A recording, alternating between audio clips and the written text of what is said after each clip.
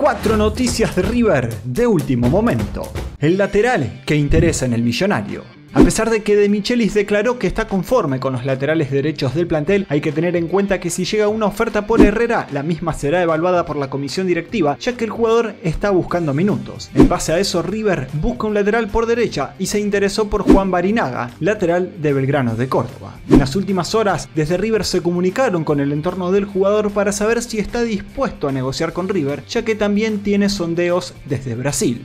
Número 2. Milton Casco deberá ser operado. Pese a que la información que corría los últimos días era que Milton estaba recuperado, lo cierto es que no lo hizo al 100% y es por eso que será intervenido quirúrgicamente de los meniscos. Por esta razón Milton se perderá lo que resta de la temporada y al menos los primeros meses del 2024.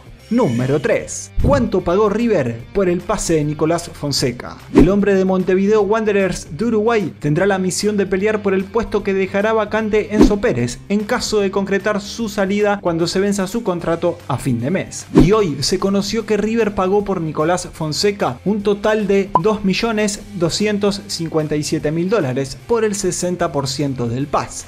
Número 4. Boselli se pierde una parte del 2024. El defensor de River representará a Uruguay en los preolímpicos, los cuales se disputarán a partir del 20 de enero, y el torneo argentino comienza el 28 de dicho mes, y es por esa razón que Boselli se perdería los dos primeros partidos del torneo local. Los otros dos jugadores que también perdería River por estas fechas son Santiago Simón y Pablo Solari, afectados por la selección argentina. Y si le gustó el video Millonarios, no se olviden de darle me gusta y compartirlo, ya que eso me ayudaría muchísimo. Esto fue todo por hoy.